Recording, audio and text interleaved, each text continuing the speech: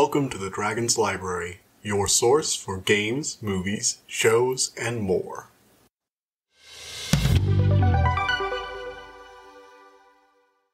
Hello, everybody! Welcome back to the Dragon's Library. Today we get to talk about something with an actual dragon in it. Yay! And it's a Marvel movie. Even more yay. So, uh, uh I'm, I'm an idiot. Alright, so today we're talking about Shang-Chi and the Legend of the Ten Rings, which is actually pretty interesting. Um, it might be one of my new favorite Marvel movies, to be fair. Like, it's probably def- it's definitely up in the top 10. It might be in my top 5 or just outside my top 5. Uh, which is saying something since there are like, what, 20 of these things right now? 26 or something like that? Uh, let's see, what, which one is it? Uh, 20, do, do, do, Ah, do, do, do, do, do, do, do. 25th film. It's the 25th film in the Marvel Cinematic Universe. Um, so yeah, it's a lot of fun. Very much recommend it. That, as my initial review, yes, I'm going to heavily recommend this movie. If you haven't seen it, you know, go see it. It's pretty cool. Uh, of course, only if you can do it safely. I know a lot of people, you know, can't go to theaters yet. That's just how it is. Um, I went on like late on a Thursday night and had a whole seat to myself. So, along with, you know, the seats next to me, there weren't that many people there. So, you know, that was nice. Um, as for the movie itself, really good effects. Marvel is, you know, like I said in my Black Widow review, Marvel has this down to a science. This is definitely one of their uh, better uh, movies. Definitely, I would highly recommend it over most of their stuff. It's an improvement for Phase Four over Black Widow. Like there wasn't anything wrong with Black Widow. It was an above average action movie, but for Marvel, it kind of felt like a step down because they're they're when they're on their game, they're a lot better than this. So, um, I went into this, you know, partially excited because again, I knew there was going to be a dragon in it, and I'm all for dragons. And also because it just looked like they were trying to do something interesting. It's not, it's a pretty obscure character. It also looked like they were trying to do something with the uh, whole Mandarin thing from Iron Man 3. Um, also, look, this review is not only going to have spoilers for Shang-Chi after a certain point, it's also going to have uh, spoilers from Iron Man 3 because, uh, for those of you who know what I'm talking about, a character from Iron Man 3 who we had not seen for a long time pops up again, and he's a lot of fun. So I'm going to be talking about him a lot. But that's safe for the spoiler section. For now, as you know, Marvel has these effects really well. Uh, in particular, I want to mention the dragon. I just loved all the effects with him. The Great Protector was amazing. Uh, the demon is a kind of interesting design. It's like a bat Lovecraftian nightmare thing, which is pretty cool. Um, what can I get to without any spoilers? I think they took a very standard kind of plot. You know, hey, he's the heir to a, a group of ninja warriors, and his father is you know, father had him try to do something horrible and then he left. Uh, and now he's being dragged back into the light by his father because he wants him to come, you know, come back.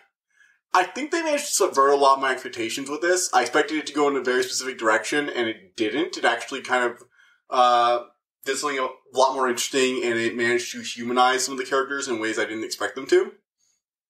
Uh, in particularly the villain, I have to say this is one of their better villains. He's not like Killmonger or later Loki stuff, but he's definitely up there. Uh, I place him like right below, like the you know the top three Marvel villains are Thanos, Loki, and uh, Killmonger. And I'd probably put him right below there. Maybe one or two other villains might might be able to challenge him. Um, but he's pretty high up there actually. I really like the, what they did with the villain. He comes off a lot more tragic than a lot of the other you know nameless faceless CGI army kind of villains. In addition, the effects are just generally good. There's a lot of references to what I assume is Chinese mythology.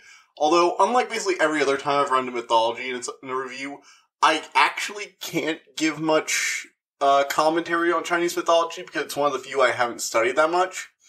I it's a little weird. I've reviewed like I've done a lot of like uh, research into Greek and Rome, Greek Greco-Roman mythology, Mesopotamian mythology, Babylonian, you know, Mesopotamian, Babylonian, um, Mesoamerican, even some Native American stuff. And I have done some Japanese mythology, but I actually have never really done that much Chinese mythology. Um, my experience with it is mostly from stuff I read about in Journey to the West. And some basic things like dragon pearls and uh, the symbolism of dragons, that kind of thing but it's always in a very vague, I understand the general concept, but I don't understand the reference. Kind of way. Um, so I actually can't do that much comment on a lot of the mythological creatures we see in like the uh, other reality they end up going to at one point. So I'll leave that for someone else to do. I wish I could go through it. I will probably be looking into more some more Chinese mythology. Um, to conclude the spoiler-free section of this review, um, the actors are all good. I think uh, Simu Simu Lai Simu Li Liu Sim, Simu Liu. Uh, he's the guy who plays Shang Chi. I think he does a really good job. Uh, he comes, you know, come off very, very, uh, very well. the actress, uh, I forget her name. The actress who plays Katie, uh, she's, uh, she's, she's like the main character's, uh, best friend. They have a really good dynamic together. Like, I genuinely want to see them because they, at the end of the movie, minor spoilers, of course they survive because they're at the front billing and they go off to, you know, have more adventures. That's like the sort of ending. I'm not going to spoil anything, but that's the general idea. Um, and I genuinely do want to see more stuff with them. They have a really good dynamic together. the sister, um, or the actress who plays Xialing, um, is really good as well. She's different enough from her brother, and again, I think they took her in an interesting direction I wasn't expecting to. Like, this feels like a stock movie at first. Like, you know, everything's in the place. It's like, okay, here's the crime boss father, here's the talented kung fu son, here's the ignored daughter. Uh, and they take it in a more interesting direction than I originally ascended. Again, I'll get more into that in the spoiler section. So yeah. Um, also, for those of you who did want to know, minor spoiler ahead. This is where we start going to spoiler talk, but I'm not going to get quite there yet. This is really small. We do get to see Wong in this, so if you're a big Wong fan from the uh, Doctor Strange or Endgame, you're gonna like this. Uh, he's a lot of fun in the role. He's great. The actor they have for Wong is just amazing. Love it. Uh, so you know, great job. So yeah, that's basically it for the non spoilers. I highly recommend you go see the movie if you get a chance. If not, it'll be on Disney Plus and it'll be on Disney Plus pretty soon. So check it out. All right, everybody gone who doesn't want to hear spoilers. Cool. Okay, so this is just really good. Like seriously, just all hands on deck. This is just a really good, solid movie for what it is. Like even without the Marvel connections, I think this is still a top tier movie. And it also shows off a lot of the strengths of the Marvel Cinematic Universe as a setting more so than a connected universe. Basically, the benefit of having the Marvel Cinematic Universe is um, you can basically just have random wizards or mutate mutants just popping up randomly throughout the book. Like, okay, to explain what I mean, there's a point where they go to find uh, his sister. It's like right after the first major fight scene. They go to uh, Macau to go find his sister Xialing, who he's been separated from, and they find out she's running like this meta-human fight club. And we see like the extremist soldier, some you know gener- more general like you know for the people from Iron Man three, the extremists like exploding people. We see some uh, wizards. We see a few mutated people. We see a few people just random superpowers that look like they could have belonged to the list from Agents of S.H.I.E.L.D. And in general, it's like, oh, right, this is a world where superpowers exist, and there are a lot of D, C, and B tier list superheroes and supervillains who aren't exactly in prison and, you know, might not be too dangerous, so they might make some money, you know, getting some fights in. And we find and we see like Wong fighting the Abomination. A lot of people have been guessing, know that's going to happen though because it was in one of the trailers. Uh, it is Wong, and he is actually fighting the Abomination, who looks a lot better. He looks a lot cooler. He look closer to what I think uh, his comic book design is. He has like these little frills on the side of his head now, and he's kind of cool. I do want to see him in another like Hulk movie or something like that because he actually has a good design now. Um, and apparently Wong has been like breaking him out of prison so he can go in sparring matches with him you know, for money. And it's like, okay, Wong. It's like, it's like, make sure you work on that right hook. And I'm like, oh, okay, this is interesting. I want to know. I want to know what's going on there. Uh, but that's like the benefit of the uh, cinematic universe, in my opinion. They basically say, "Hey, this is Wong. You all know him from, you know, uh, Doctor Strange. Here's the Abomination from uh, Hulk we, he's a really cool monster. If you want to know more about him, go watch that old Hulk movie. And if you want to know about more about Wong, you can go watch a, you know Doctor Strange or uh, you know Endgame. But if you don't want to, you don't have to. And they're just casual references to the snap or something like that. It makes this world feel very alive, but it also gives us tangible answers to what all these things are. Like they don't have to make a side movie for Shang-Chi, just describing what they meant by somebody could just snap their fingers and have the world stop to exist. They already made that movie. It was an actual good movie, and this is just referencing it as some event that took place in their world. And I find that that is very compelling and makes it these like really interesting world um, for them to explore. Like to understand, this has ninja crime family run by an immortal. It's basically Ra's al Ghul. It's basically just like the Ra's al Ghul plot taken seriously in the Batman movie. So for those of you who haven't seen the Dark Knight trilogy, in uh, the first one, there's the first one chronologically. I forget exactly the order.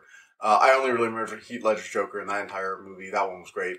Uh, but when they had Ra's al Ghul appear, they had him like pretending to be an immortal who was running this terrorist organization of ninja for like you know millions of years.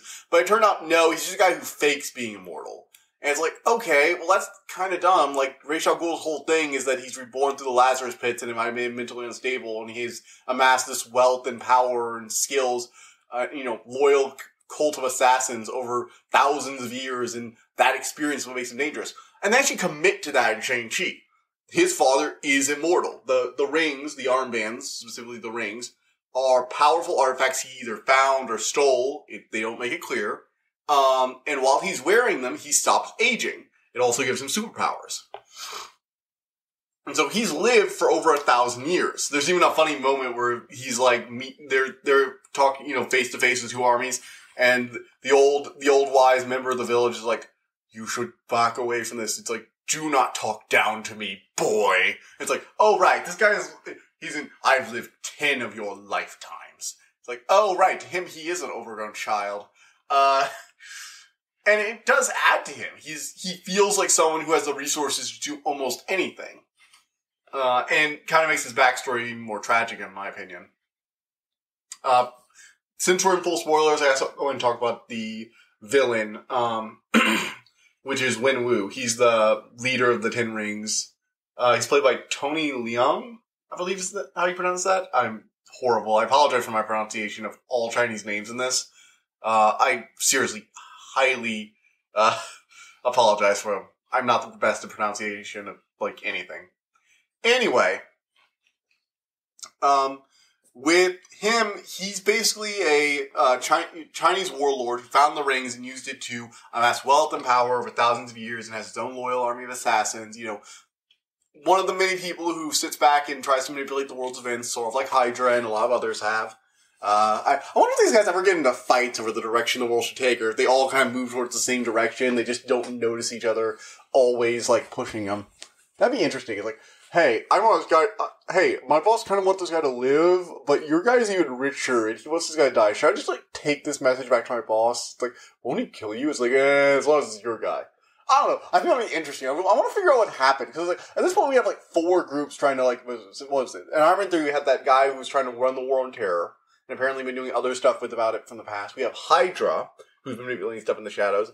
And what else? We have like one or well, I could have sworn there was like one of the organizations been manipulating stuff. Regardless, and then we also have these guys. It's like you know, I wonder if they ever get. Oh no, no, no! It was the uh, Soviet people, the um, the evil villain from from uh, Black Widow. Yeah, so there are four now officially four organizations who have been manipulating the world's events from the shadows. And I just wonder if they ever get into fights over who actually gets to manipulate the world's events. Like, do they ever disagree, or do they all just like because you know they're all evil? They all just kind of push in the way. Although to be fair, he seems to be mostly interested in power and money and wealth, and less so in running the world.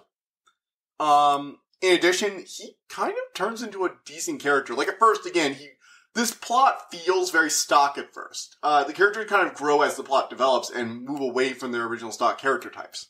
So he is originally, you know, the badass crime lord who's even better at kung fu than his uh, kid or whatever.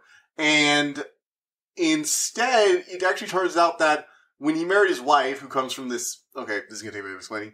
She comes from a, another reality that's guarded by a magic gateway in a forest of bamboo uh, that's constantly moving around. You have to navigate through it. And here's her, his father, uh, the main character's father, uh, when we tried to find this hidden, you know, utopia magic and magical creatures and powerful people who apparently knew some ancient martial arts of the gods.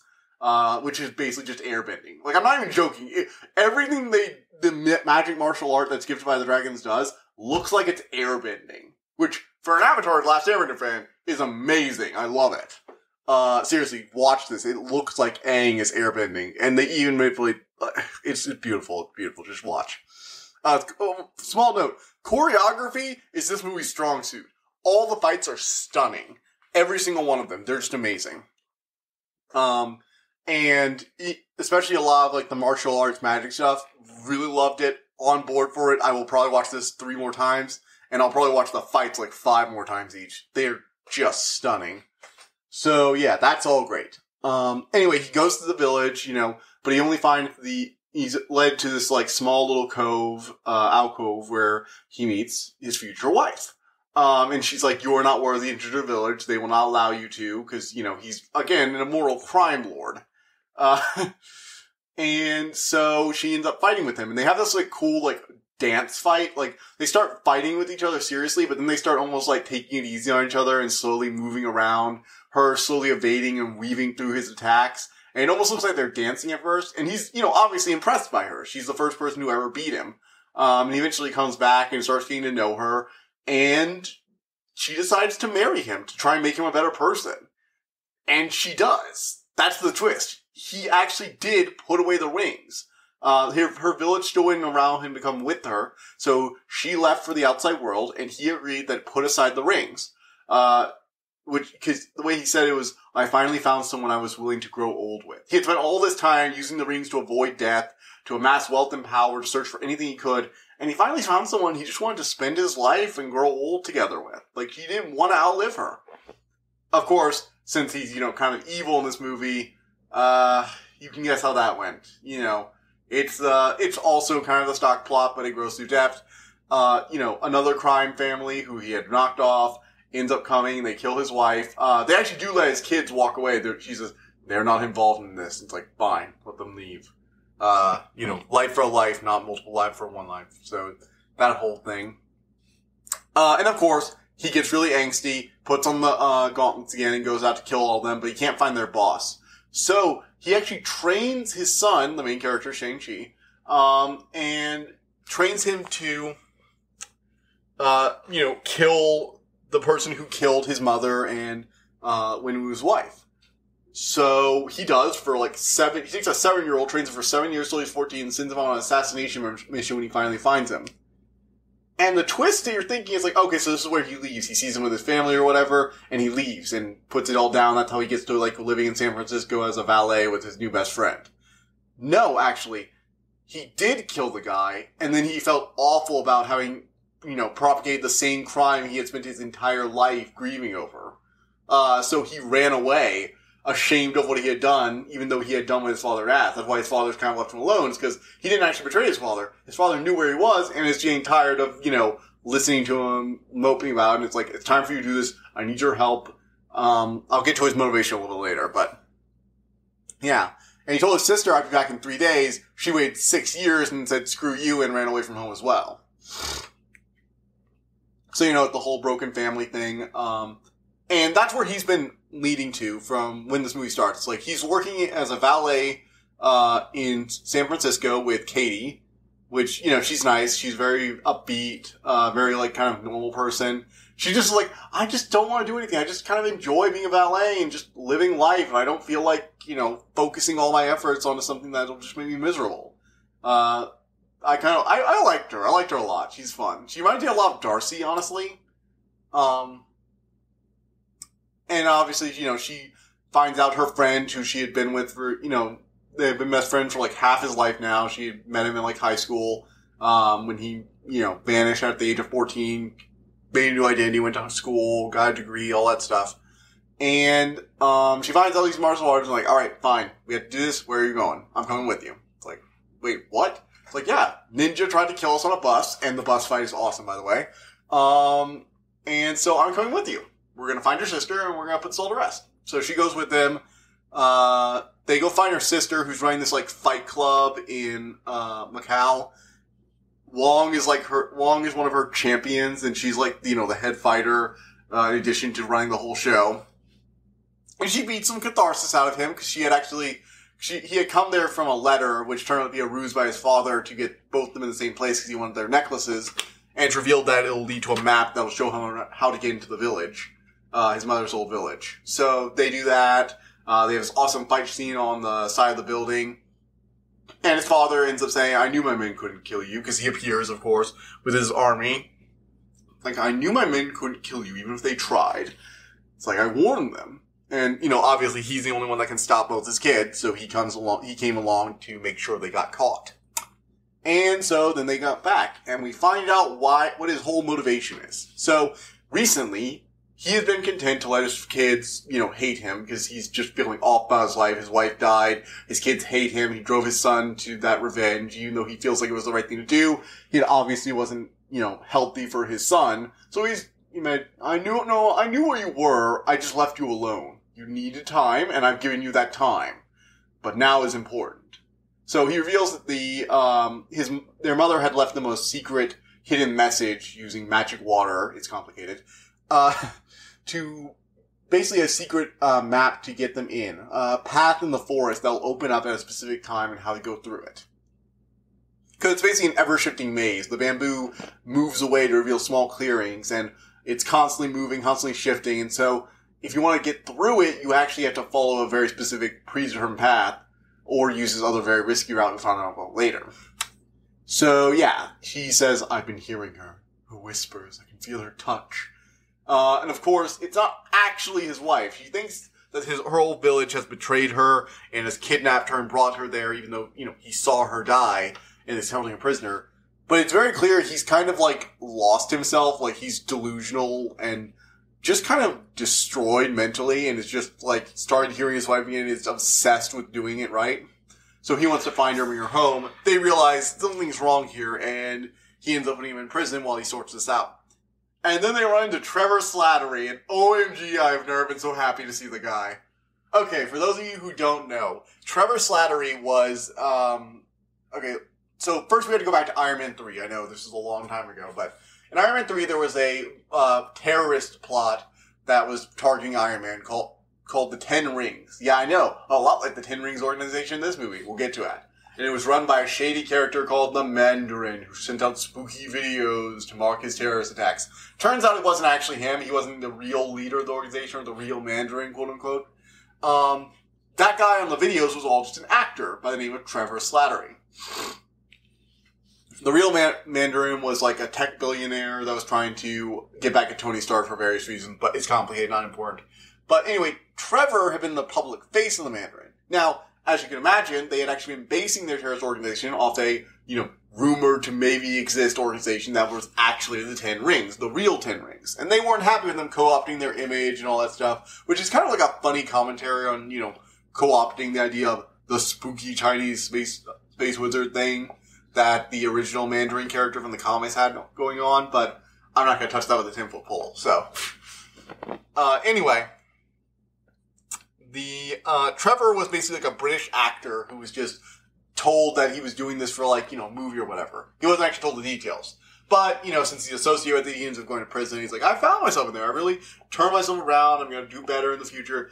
But then these shady guys broke me out of prison and brought me here. And apparently they were supposed to execute me because I had impersonated a really powerful immortal billionaire.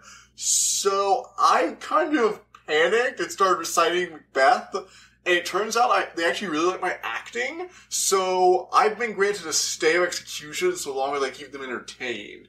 I've got a new performance tonight. You want me to do over it? He is a riot. He's the best. Uh, then they actually find one of the magical creatures from this, you know, mysterious other dimension that's hidden behind the bamboo forest. And it's like this small, faceless, furry little thing with these, like, uh, bird wings. And Trevor's like, wait, you can see him? Oh, thank goodness. I thought I'd gone insane in here, you know. I haven't seen anyone other than the assassins, they don't talk much, for so long. It's like, aren't you glad you're a l- real little buddy? Uh, he can understand the thing somehow when everyone else just hears it like grunting and growling. And he's not insane. He actually does apparently hear because he leads them through this forest uh, into the other world and is able to give them pertinent information. So he definitely does hear it, which is a little weird. Uh, and Trevor's just funny. Actually, during the battle, they have this whole moment where the little guy finds him uh, face down. He's like, mm-hmm. "It's like, shush! I'm just acting. I don't want to get my soul eaten." Uh, and so the little guy's like, The, and you expect it to be like, you know, how dare you? You should go and do something. Instead, the uh, the little thing I forget its name just rolls over his back and plays dead with him. It's like, oh, they weren't made for each other. It's like, it's like, wait, that's actually a really smart idea, Trevor. Yeah, I think I'll join you. uh, so that's the best. Anyway, they go there. They find out they've been guarding this ancient evil thing called the ugh, what is it? Um, the Dweller in Darkness. Basically, this mysterious otherworld actually had a really advanced civilization at one point instead of this small little village. But they're actually the survivors, like the last few hundred years, of a massive demon that wiped out their entire civilization by harvesting their souls to gain power. And it was only thanks to a dragon called the Guardian uh, that they were able to actually seal it away. And they basically had a last ditch stand to prevent it from taking an entire other world with them. So, you know, they were reduced to a small village and most of their technology was lost to time. But they did have like a thriving culture. And I actually like that. It's like this, you know, ancient civilization has existed in this magical other world for thousands of years. It's like, yeah, but they look like less advanced than a thousand year old us plus magic. It's like, oh yeah, so they were a super advanced society that's like thousands of years more advanced than us plus magic but they lost a lot of that when they had to defeat a literal demon that wiped out like 99.99% of their population and reduced them to a small village on the edge of their actual territory. It's like, okay, that's fair. Uh, the dragon's also cool too. It doesn't just like appear as like a, you know, a prop in the background. It actually plays a major role in the battle and does most of the work in actually defeating the evil demon when it's released. Cause obviously the demon has been, you know, imitating her voice. Um, I was actually expecting like some sort of stupid connection between the rings and this magical other otherworlds. Like, they were meant to be, and that's why we could never allow him in. It's like, no, we didn't allow him in, cause, your father in, because he was kind of a dick. Uh, and your mother made him better for a while, but when he died, she died, he went right back to his old ways, which makes him a little more tragic than evil. But, um, you know, the rings were just a powerful artifact. And apparently, judging from what they said, the demon has called a lot of other people here in the past. Anytime he, the demon senses someone in the other world that has a powerful artifact or some ability that might be able to release it, it'll call them with whatever they desire. In this case, the idea that his wife's alive and being held prisoner behind this evil gate, um, to come free him. And of course, he manages to actually do it. He breaks free of this dragon scale seal. Uh, this whole bit where dragon scales are used to make all the weaponry. It's cool the funny sidekick character, Katie, Katie gets to train some archery in the training montage, and she gets to actually do a really decisive blow in the final battle. Him and his son have a nice heart to heart. He ends up uh, giving him his son's rings after, while the thing's ripping his soul out so he can have a fighting chance. He teams up with the dragon, and oh my god, I love the dragon so much. I'm buying that Pop Funko as soon as I can. Uh, sorry. Uh, also, I'm trying to actually for the dragon, but I love the dragon so much. Like, it's only there for like maybe like a third, like the last like I don't know, sixth of the movie, but it's just so interesting. So yeah, that's how all that goes. Um, you know, the battle's fought, everything's nice. They have a few moments that kind of subvert your expectations here a little bit. It's it's definitely playing towards the typical, you know, martial arts, you know, evil crime family thing and trying to subvert your expectations every once in a while. But I think it works in basically all the ways it attempts to subvert the expectations and still works even without them. Uh, the last little bit though is just like more MCU world building, but in kind of a fun way. So obviously they had this like scene where uh, Sh- uh, Shang Chi and uh, Katie, Katie were um, talking with a friend of theirs who got married, and they were talking about why don't you guys apply yourself? You could do so much more. And they're telling him about this like final battle, and they're like, okay, guys, seriously, stop playing a joke on us. You guys are freaking valets, and you expect us to believe you just saved the world. And then right behind her, Wong starts opening a portal and it's like, Shang-Chi and Katie Chen. I'm looking for Shang-Chi and Katie Chen. It's like, that's us, that'd be us. It's like the, the friend is just looking at them like, what the heck? Uh, and of course he brings them there and Wong starts talking about what anyone who knew about the Ten Rings from the comics. Fun fact: the Ten Rings from the comics are belong to a, a supervillain character who's kind of the archenemy of Iron Man, called the Mandarin. He's kind of a Fu Manchu ripoff, basically. And his whole thing is he had ten rings that each had unique power. Now, at first it was believed the rings are magic, but it's actually revealed later on there's basically just advanced alien technology. Um, and they kind of hinted at this at the end. See, Wong is like, hey kid, uh, you did save the world. We found out you saved the world recently and I, don't be don't get a big head. It's we've all been there before.